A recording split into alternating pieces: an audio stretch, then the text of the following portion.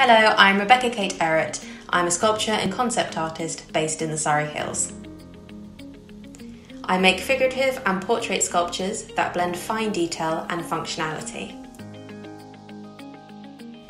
I focus on creating sculptures that integrate into people's homes, both as art pieces and as useful objects.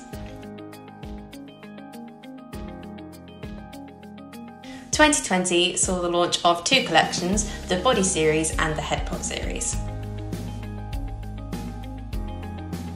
The Body series is inspired by the classical female nude torso.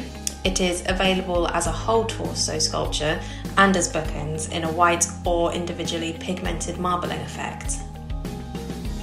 The Headpot series is a portrait sculpture collection in a variety of colours and is made to be used as a display bowl for anything from plants to trinkets.